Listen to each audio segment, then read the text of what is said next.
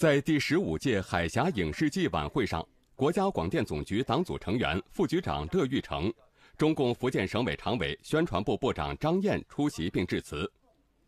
海峡影视季自创办以来，十五年间持续推进两岸影视合作项目，已成为两岸影视精品宣介和产业合作的重要平台。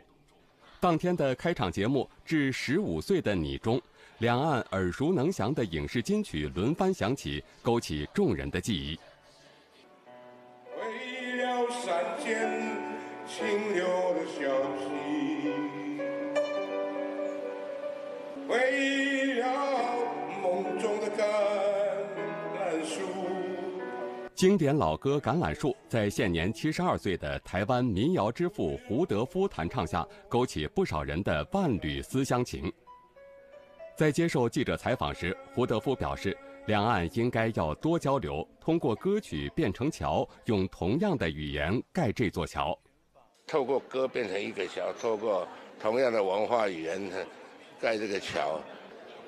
我们同样同宗，同样的文化，同样的语言。颂赞我们所看到的事情。此外，晚会还发布了第八届海峡两岸青年网络视听优秀作品展评委会最佳作品和评委会特别推荐作品。本届活动共收到一千六百一十部投稿作品，经过组委会的多轮评审，三十二部作品入围提名，其中八部作品获颁评委会最佳作品，两部作品获颁评委会特别推荐作品。激动也很开心，感觉这个活动是给很多影视爱好者提供一个这样学习和交流的平台和机会吧。两岸多多的这种不管是合作或者是互通这种，我觉得是一个很好的事情，对自己也是一个比较，呃，自我成长跟加分的机会。海峡影视季走过十五载岁月，两岸青年因光影而相聚，两岸影视产业因光影而绚烂。海峡两岸也必将在光影中迎来更灿烂的明天，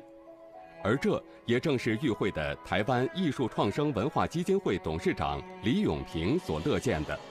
海峡影视季已经到第十五年，他每一年呢都还在挖空心思，想说我们怎么样可以做得更好，怎么样可以更把两岸的人的感情跟心连在一起。那我必须说，今年做到了。年轻人未来吸起手来，两岸有什么坎，有什么难关过不去呢？